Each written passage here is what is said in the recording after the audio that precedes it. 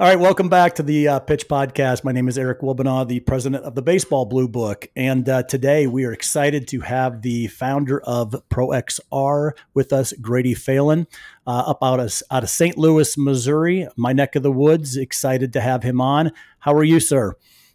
I'm doing well. Happy to be here, Eric. Thanks for having me on board. Well, I appreciate you being back on. I, I met uh, Grady at the, at the ABCA conference this year uh, down in Dallas and uh, really enjoyed my conversation. So I certainly wanted to get him on the program and really specifically on the pitch. Um, and as you guys know, each episode features industry leaders, innovators, trailblazers, all making a difference in the world of baseball and beyond. Our mission here at the, at the pitch is to really highlight innovative ideas, share success stories, and explore the challenges and opportunities facing entrepreneurs in the baseball industry. And we are certainly hitting that with Grady and ProXR, very innovative. Some of the great success stories, um, obviously challenges and opportunities in this world. Um, and I, so I'm, I'm, I'm really excited just to get this thing going. Grady, I'm going to hand it over to you and really let you give us your pitch. ProXR is a grip technology company founded in biomechanics and ergonomics. It was actually based on a, an observation that occurred in my backyard an accidentally thrown baseball bat that nearly hit my son in the head. And this was 20 years ago in our backyard. Uh, at the time that that happened, when I threw that bat, I, it was a teeny little aluminum bat, and it left a massive mark in the palm of my hand, and it kind of hurt. And we had been we had been fungoing hickory nuts out of the backyard for quite a while, and I'm plenty strong enough not to throw uh, a little aluminum baseball bat that nearly killed my son. So uh, it occurred to me that um, there's got to be a better way. Something caused me to throw that bat.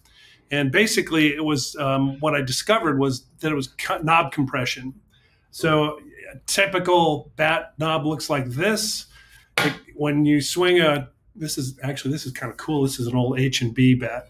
Nice. So this, and they haven't. This bat has not changed. This bat knob is still the same across ninety percent of Major League Baseball. Guys are swinging this. That knob causes compression in this part of the hand that's where the ulnar nerve is. That's where the hamate bone is underneath there. But when you compress that ulnar nerve, it caused me to release my grip on the bat. That started me down an entire path of discovery in terms of understanding the dynamics that occur within the grip of an athlete when they swing a bat. And it turns out a hockey stick, lacrosse stick, field hockey, and golf. So not only, and then also you can see pickleball behind us. So what I actually discovered wasn't just a baseball concept, but really a new interpretation of grip technology for sports. That's great. Um, I'm really excited about getting into this a little bit um, from the technology as well as the business side. Um, I was reading through the your profile about you.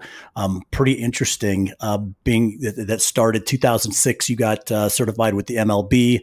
Uh, 2010 was the very first person that used the bat, Mike Hessman, and his bat yes. was accepted into the uh, National Baseball Hall of Fame in Cooperstown that's pretty cool. Talk about that's that correct. a bit, and then we'll get into the business.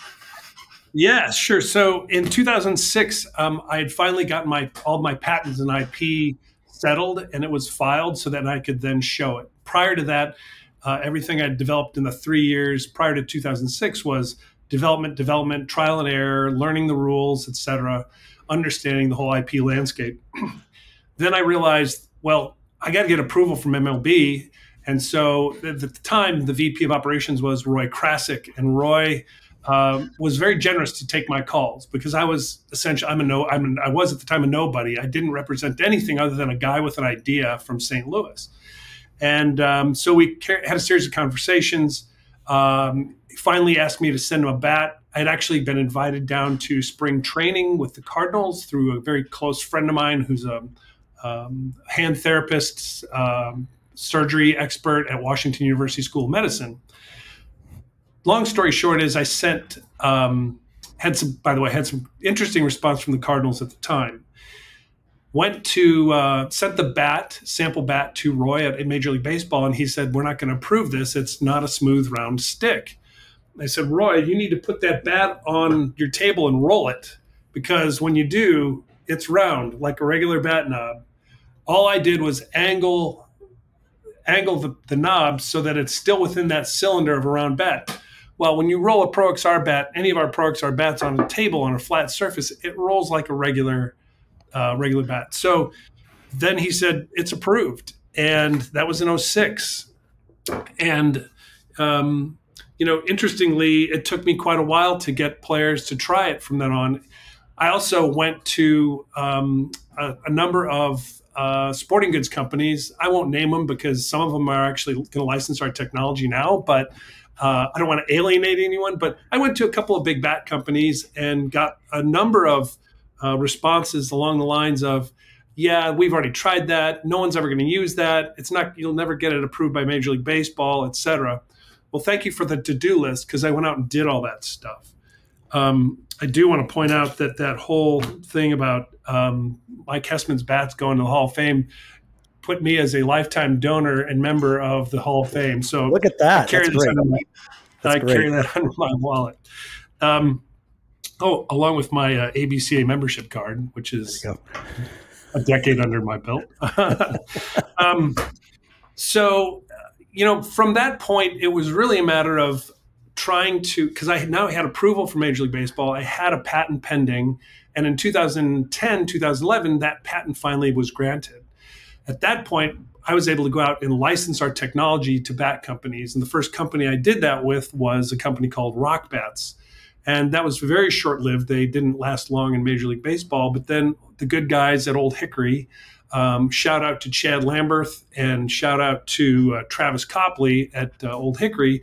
They embraced the opportunity to bring ProXR in as, a, as an option on their bats, and and uh, they were so they were our first licensee. Um, and then the rest is just a matter of head down, putting bats in players' hands, doing more and more research and development because the original knob that looks like this is now one of 15 probably different designs, different knobs that we have with ProXR. So it's not just a one size fits all. What we what I realized in the development process was that you know players have different hands, different swings. They deliver their hands in a different way, and there's so much um, qualitative aspect to a player's engagement and grip on a bat versus the the um, quantitative data, which is how does what is their exit velo, what is all that. So really trying to navigate that without trying to coach players on how to hit, but you're changing something as intimate as their grip uh, was a huge hurdle. Plus, when when I put something like this in front of hitting coaches at Major League Baseball, and the the players are like, "What the hell is that? Why yeah. would you do that to a bat?" So it took a lot of explaining. So you so so talk. You know, people are listening to this, going, "Okay, Pro XR. You know, it's it, it's a technology. It's a bat handle. It's it's a an angle. What is your business model? Because I can't come to Pro XR and just buy a bat. Is that correct? Or is That's correct? Okay. So we're in a unique position. I developed a technology, got it patented, and also meaning we had protection. I have ownership of that concept, that asymmetric knob concept for baseball bats. And then I got MLB approval. So now the only path to get that is through me. Well, I did make a series of bats of Pro XR bats, and I actually have one. This is a actually a replica of what went to the Hall of Fame in Cooperstown. This is a maple, and so I tried getting into the bat business, and it's a really difficult business. It's heavy equipment required. It's a lot of investment in billets. It's finishing a lot of stuff. And it became clear to me that that wasn't my area of expertise. My area of expertise is in innovation and development of that innovation. So I found a better path, and that was to create a licensing program that allows any bat company who wants to to license our technology and have access to all of our designs and put them on their bats. And so since then, we've got seven current MLB bat companies uh, licensing our technology, and you'll see it throughout baseball on a number of different bat company bats that's really an interesting model. I, I, really, I, you know, from a technology perspective, you, that happens quite a bit, right? It's it's code or, or some type of feature that a lot of software companies will develop um, but they don't certainly want to be the end uh, the end product. Um, they license right. their their their software, um, uh, white label it, and then it, it goes into a different another platform, really similar to what you guys are are doing. So ProXR is really a white label technology that a company could come in, they can license this, and then they can create. Um, is there different rules or regulations from that perspective? Do they have to have all uh, kind of Pro XR type designs, or it, can it just be an option for them? they have access. So once they sign a licensing agreement with ProXR, they can use utilize any of our designs. As a matter of fact, uh, in some instances, we've worked with uh, one or two back companies where they have players who have who love. Uh, let's say they like our Epic. This is the Epic design, mm-hmm. so they love again round and cross section, Epic. So they love the feel of that, but they'd like to change some angles on it. We have a lot of flexibility with our IP to make some adjustments to accommodate those players. And when we do that with a specific bat company, we then allow that bat company to have purview over that particular design that we built for their player. Now, if another bat company wants to do the same thing, we work with them and develop those CAD files so that they can then implement those onto their their bats.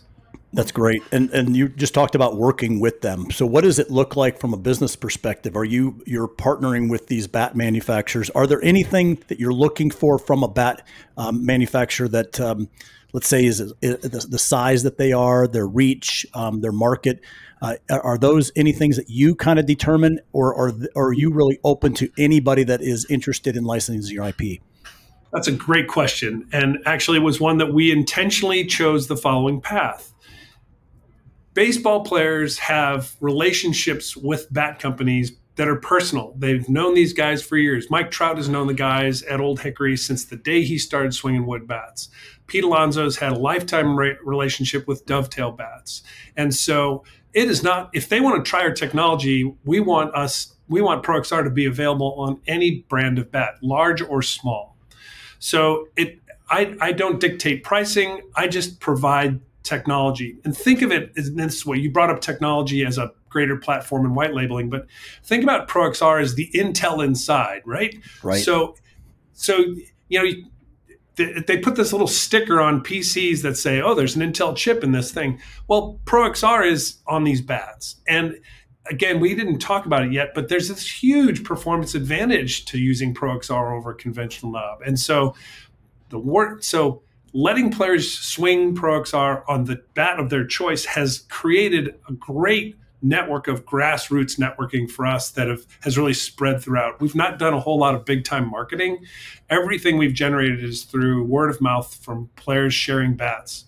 You really bring up a good point. You know, I've talked to a number of, of custom bat manufacturers, the wood bat manufacturers, and, and it is it, you're absolutely right. It's certainly um, personal relationships, right? They build that relationship with them young excuse me. And then they continue to go with them with with their career but having the ability to try a new technology on the bat that they like and they feel comfortable with.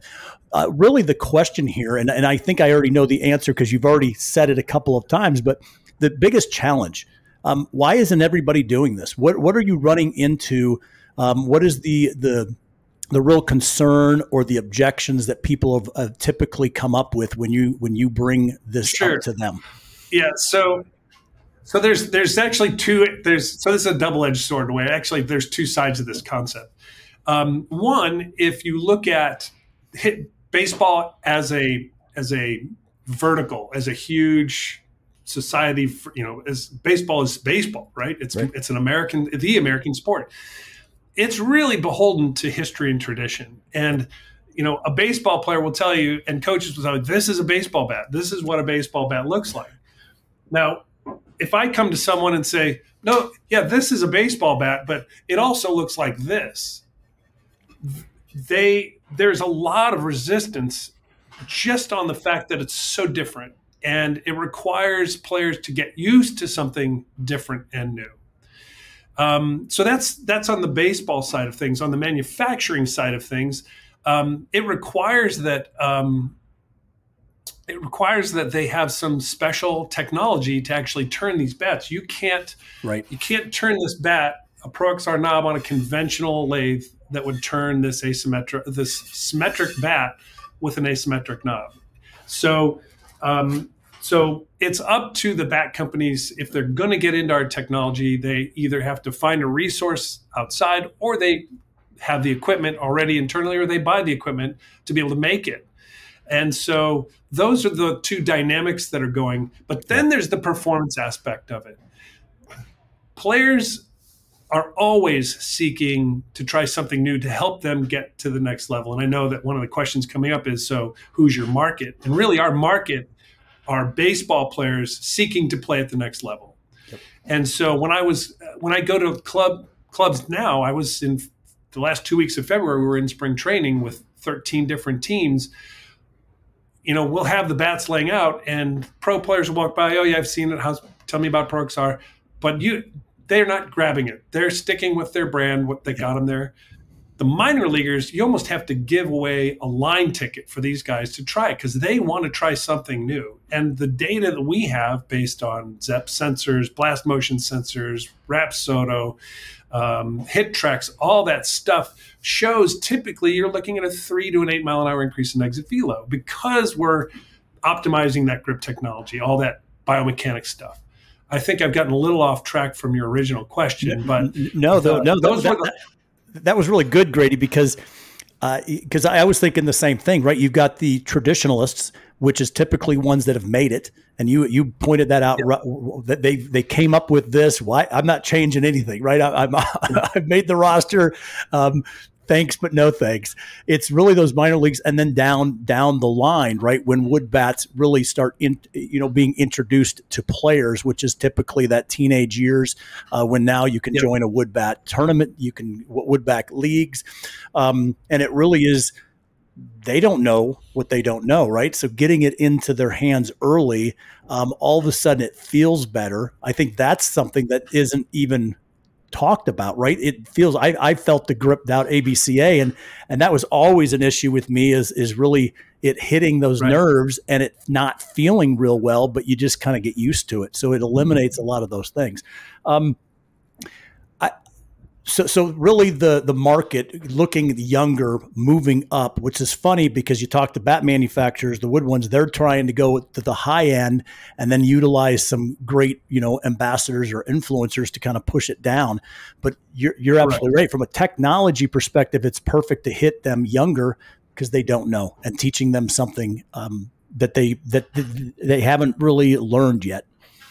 Right. And so we actually have addressed that. We have a new product called the Switch, and it's for baseball and softball. And basically, this is what the Switch for baseball looks like, and this is we have Switch for softball as well. It's a it's a piece that. And by the way, we just got we both of these are NCAA approved for both men's baseball and women's softball. And so what that does is you take off a conventional knob taper, and then we can get we can put Pro XR onto that bat so that now I get the, I get the same performance advantage with metal that I get with wood when I have that asymmetric knob on there. So that's that's what it looks like on, uh, on an old Easton, but this is a brand new Ghost with the Pro XR switch knob on it. There you go. Um, so we've we've come full circle. We started with you know my son throwing a bat that I you know I ne- nearly hit my son as a little kid we went to the top of the pinnacle of everything and got Major League Baseball approval. And that's like a giant pyramid. The rest of baseball and softball is here, but we've got the top elite level players like Pete Alonso has won the home run derby with Pro XR. So we've got the best hitters in the game using Pro XR. Carlos Stanton last year hit the third longest tape measure home run at Yankee Stadium ever with Pro XR on his bat. So now those kids are seeing that. So we've got NCAA players all over the country putting this on their bats. That's great. And that's really the only alternative that, that, that they have on the aluminum bats. Correct? Is is really your your your um device there. That and what is that called? What, what, was that again? This is called this is called the Switch. The Switch. Okay. It's available at our website proxr.com at our store.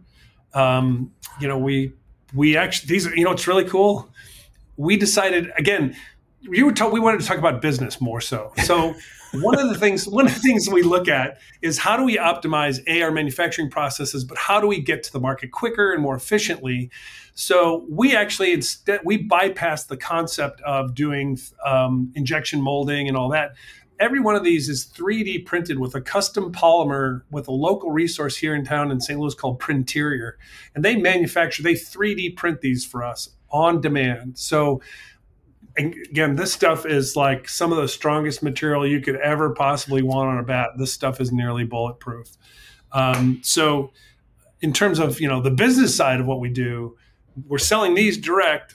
We're licensing this stuff to the the big boys, and in between, you know, we're also developing other stuff. You know, extending that concept of grip technology to golf, cricket, field hockey, uh, lacrosse so, and so so as as the founder and really the the the you're really the the uh, the engineer the technology side of this Talk about yeah. the business then. You you did the segue to business, and and I always laugh. I say, hey, I want to. I don't want to talk about baseball. We're going to talk about business, and it always goes back to baseball, and that and that's okay. Uh, that's why we do it, and that's why we love it. But to talk about kind of the organization structure.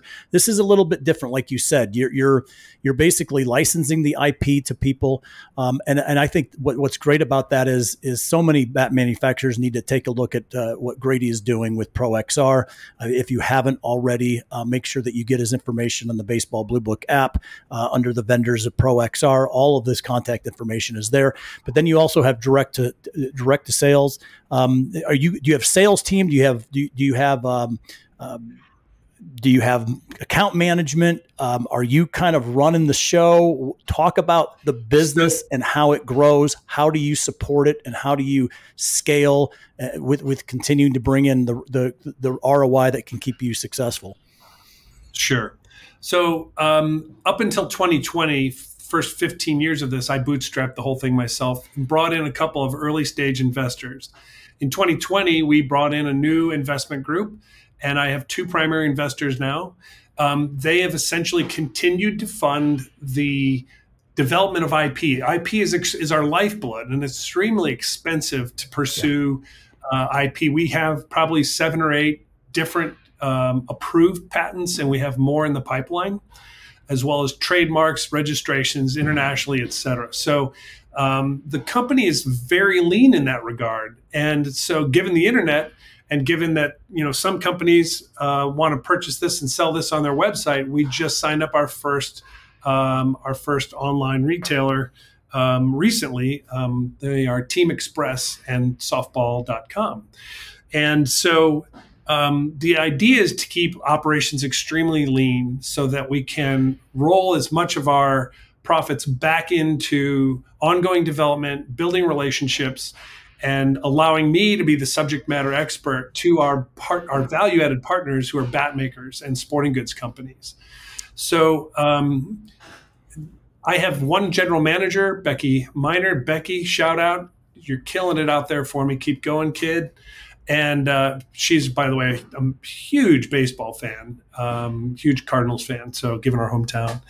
Um, so, we run a very lean organization. Um, I, I, also need to point out that none of this would have been possible without my wife, Jill, who um, you know, had infinite patience and has covered healthcare for us for the last 20 years, which is great. I'm really lucky and blessed to have her on board. So uh, I know that that can sound a little bit cheesy and trite, but it's the absolute truth. It's, um, it's absolutely the truth with all entrepreneurs. They've got somebody that's that's uh, supporting the dream uh, while we, we, we continue to build it. Right. well, it's it's it's funny you should say that. Her favorite saying that she says to me typically every day over coffee is, "Teamwork makes the dream work," and and so and so without that, you know, I'd I'd be probably doing product development elsewhere for American Express, wherever I've done in the past. So who yeah. knows? But um, so back to the business. Um, so our it also so our process of we ha- we get IP, we develop it. I develop new ideas, new innovation, and then we get that approved, and then get it patented, and then we go out and again build relationships with companies uh, to take that on. So right now we're currently in the we've got approval on all of our IP for golf grips, and so rather, and that's the other part of this business that's so important is you can't hang your hat on one concept. Right. As a business owner and as a development person, you have to continue be willing to pivot and realize that this might not be the best idea we've had. So this is the original ProXR knob, which a lot of guys in Major League Baseball are still swinging this. Tyler O'Neill with the Boston Red Sox has this knob on his bat. But then we've got this one, which a lot of guys have, which is the this is the Epic, and then this is a slightly more elegant version of this one. This is called the Icon, and it really what we've what I force what I force myself to do is look beyond what we've already achieved and continue to look at and test and get feedback from players. Um, so continual feedback, continual improvement of all of our products is so important. Our very first ones of these were a disaster in terms of fit and finish. Um, you know, and material choices and all. You have to continually be evolving your business and moving forward. Um, there's also the other part of this, which is ongoing R and D. So uh, I continue to explore technologies that help us uncover deeper layers of understanding of ProXR. We started using compression sensor technology at Washington University School of Medicine that showed that revealed that the ProXR knob reduces the compression force to this part of your hand specifically by 25%. Wow. So, which was phenomenal. That's wow. so hand surgeons tell us that's enough to prevent a broken hamate bone. Had Mike Trout been swinging ProXR, he would not have broken his hamate bone. Giancarlo Stanton would not have broken his hand, hamate bone. Um, I mean, the list goes on. Somewhere on my website, I've got a list of all the guys who have broken their hamate bones. It's well over a hundred in Major League Baseball, that's, wow. easily. Well, that's crazy. Um, so then, you know, now I'm using newer technologies, not only Rapsodo, to track the the positive. Uh, because we get rid of that speed bump effect, we now are looking at what is the performance benefit. Well, the performance benefit is that three to eight miles an hour increase in exit velo. But we're continuing to look at the dynamics of what occur in the hand during motion. And there's technology that we're using that are multi-axis sensors that allow me to see what the hand's doing through and at contact. That again is allowing us to continue to optimize the ProXR's design. Um, so um, I, I've really wandered off course here, but in terms of that's that's the core philosophy for ProXR as a business model. No, that's that, that's really good because you know a couple of things that, just from a business perspective is the ability to continue to innovate, not the ability to, but the desire and the, the need to continue to to to um, innovate, even though you've figured something out, right? Just because you've got an yeah. idea that now has starting to really catch catch on. It's the continuation. I also one of the things that you said was preventive preventative measures are are typically more difficult to sell than performance enhancements, right? And so absolutely right. you you you started with preventing some of these things, but people go, ah, I'm, it's not going to hurt me, right? It's not going to happen to me. Versus, right. I can do it, see a three to eight percent increase in my exit velo or whatever it is. Now you have people's you know their their eyes. So it's a marketing message, right? It's now from a business perspective, right. it's it's it's changing that marketing message. It's the same product, it's doing the same thing, but it's how we speak to the people that we're selling to. There's a unique perspective in that one. You don't sell the drill and the drill bit, you sell the hole. I need a hole. I don't need a drill and a drill bit. So so what's the hole that we're selling that we're filling? Right. I need performance. Exactly. I need, and so what's interesting, we've under again, this is also wrapped around back to baseball, understanding the baseball environment and knowing that there's it's a very small community, and so that word of mouth is key. And so being able to say, hey, to a player, I'm going to help you with um, with your performance, better plate coverage, better exit velo, better barrel control, better barrels, etc to a coach or a GM, there's a different message. The whole they have is I want to keep my players healthy and on the field. Right. So so now, hey coach, hey general manager, I'm going to help your players hit better, perform better, get on base, be more effective offensively, and I'm also going to keep them on the field because they're not going to break their hamate bone in most cases.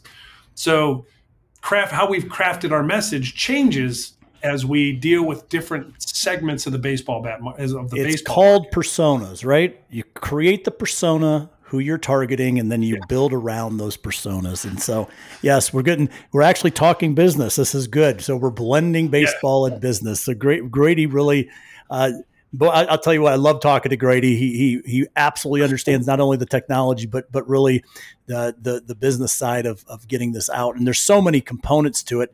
Um, you know, for more information, you can find Grady at uh, proxr.com. We have all of his information in the Baseball Blue Book app uh, in the vendor section. Um, also, I believe Grady does have a profile in there. And so um, being able to contact him directly. I guess the last question, uh, Grady, is uh, before we wrap up is in your, in your opinion, what is what some are some of the emerging trends and opportunities that you're seeing specifically in the baseball industry? You've talked about other sports, but what are you seeing kind of in baseball um, that is going to open up additional opportunities for you?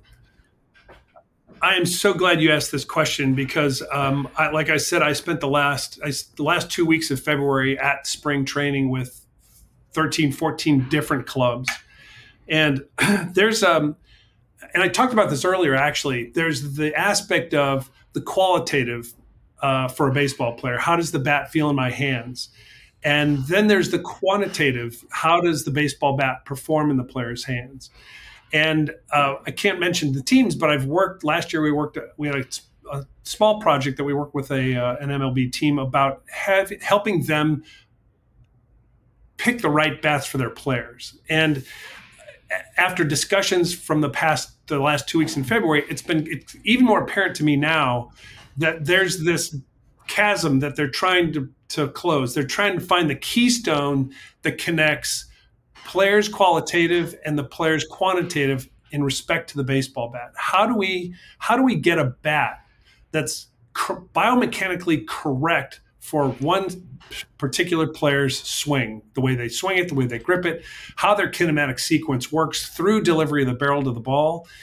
And I think that uh, certainly plays a part in that because, and we've already started these process, but finding that keystone moment, identifying the player's biomechanics, and understanding how they swing a bat and what's driving them. Every player is different. My build is different than yours versus Pete Alonso versus, you know, Stubby Clapp of, you know, the first base coach of the Cardinals.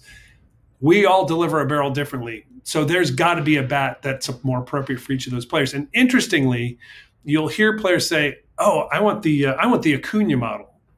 Dude, you're not Acuna. You're you Right. You need to find the bats right for you. So, yep, yep. Uh, and after talks with a number of clubs, um, everyone from you know their biomechanics folks to their analysts and uh, some of their PhD physicists on these teams, they're all trying to to navigate that chasm between the qualitative and the quantitative. So, I think that's the last big piece of the puzzle. They're capturing killer data with Hawkeye, and they're capturing great data uh, with other biomechanics, but they're not able to yet, um, without the help of people like me and the help of some of the bad companies, they're not able to to get those two pieces to join.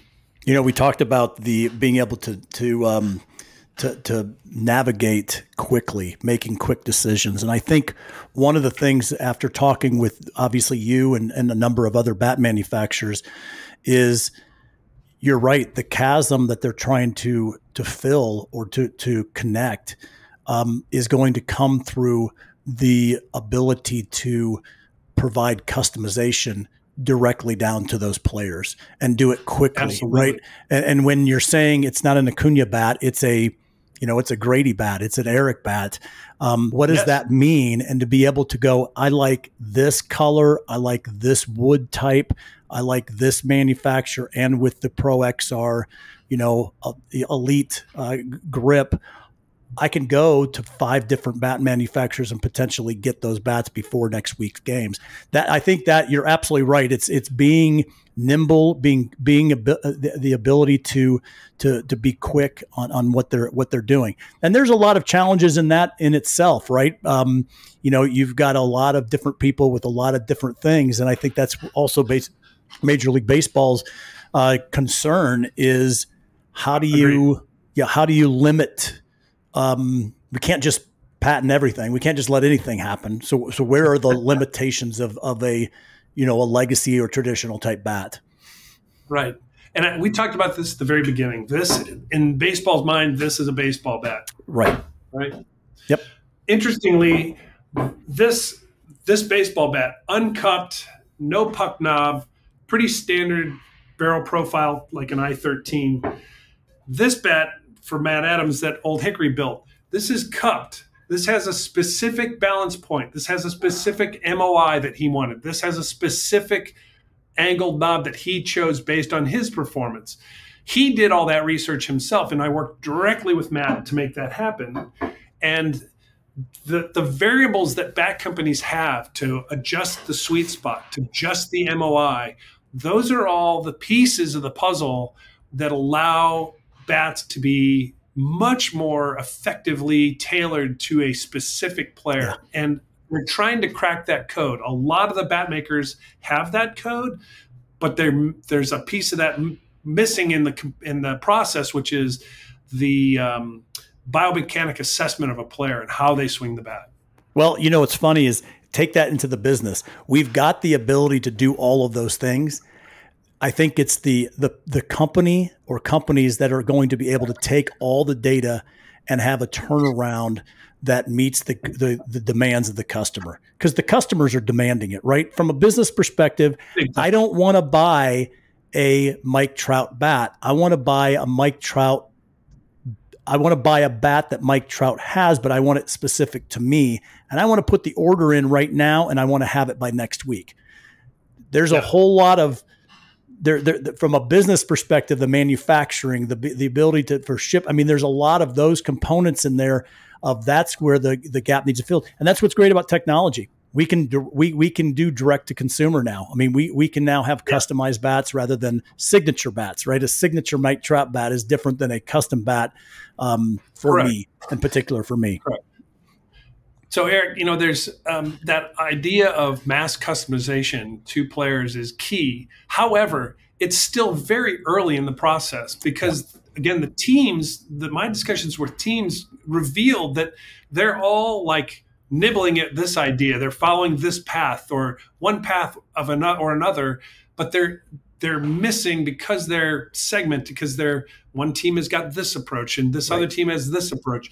Uh, there's all sorts of philosophies about hitting. So baseball being beholden to history and tradition is a very big battleship that you're trying to move. Yet, at the same time, the players and the coaches are demanding immediate access to the best bat tailored to my player so they can perform. You couldn't have put it any better. That was a perfect way to end this. Grady, this has been a lot of fun. Thank you so much for joining the Pitch podcast. Uh, guys, ProXR uh, doing some amazing things. I mean, I, there's not a bat manufacturer that I haven't talked to that doesn't know or isn't using uh, licensing their IP. Um, I see this as a up and coming and explosive uh, business in the world of baseball in the next three to five years. Um, it's already happening. Um, so, Grady, appreciate you joining us. Thank you very much. You're welcome, Eric. It was my pleasure. Thanks for having me on. Thank you. All right, man we all, I could have gone 45. I could